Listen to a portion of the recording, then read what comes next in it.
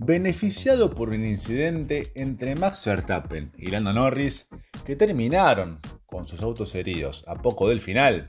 George Russell pudo volver a la victoria después de casi dos años en la Fórmula 1 al conquistar el GP de Austria.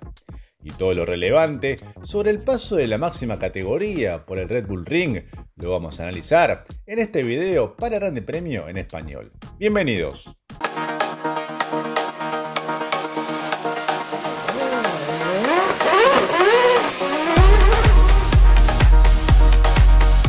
La Fórmula 1 entregó una de sus mejores carreras de la temporada 2024 en el GP de Austria que tuvo una imprevista victoria de George Russell.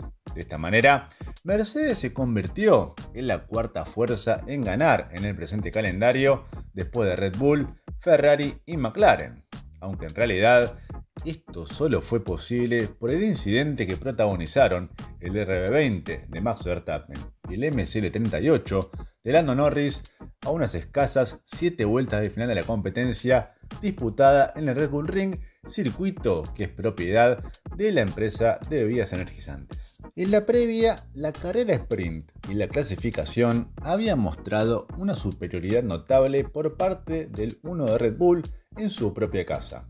En la primera, dio cuenta de la dupla de McLaren después de estar presionado en las vueltas iniciales y para la segunda logró imponerse por cuatro décimas sobre Norris en un circuito donde las diferencias acostumbran a ser mínimas.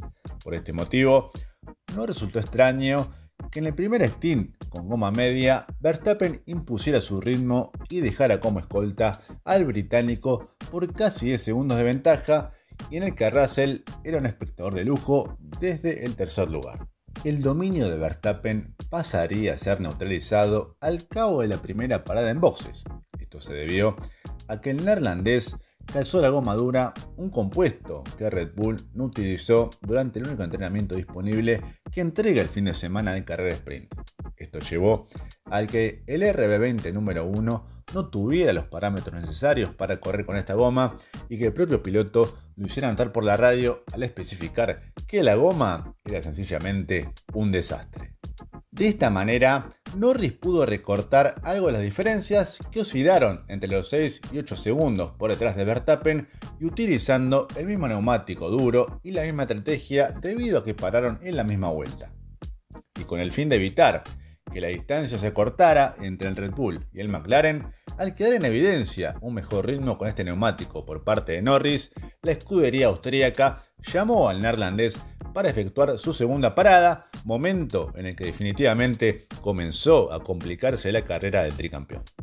En los boxes, una tuerca trabada en el neumático trasero derecho provocó una inusual parada lenta por parte de Red Bull que tardó 6 segundos, 5 décimos, para devolver a la pista a un Verstappen que calzó neumático medio usado por no disponer de un juego fresco. Y para colmo, con el caucho frío, el número 1 de Red Bull tuvo que bloquear en los primeros metros de la pista en una mala maniobra para superar a un rezagado.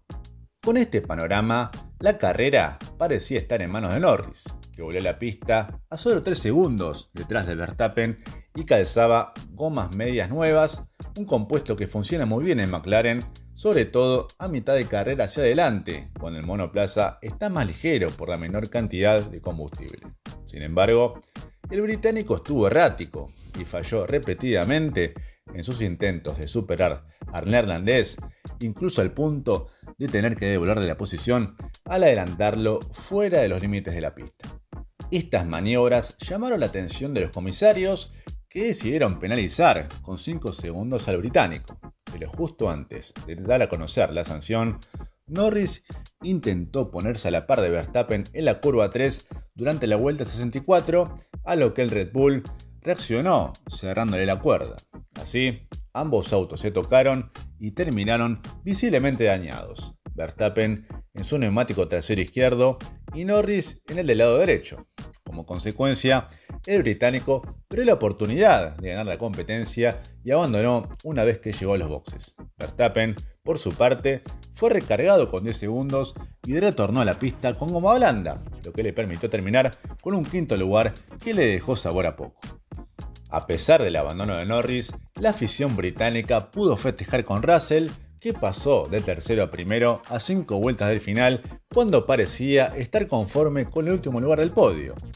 La nueva configuración del top 3 también permitió la coronación de Oscar Piastri y de Carlos Sainz en el segundo y tercer puesto respectivamente.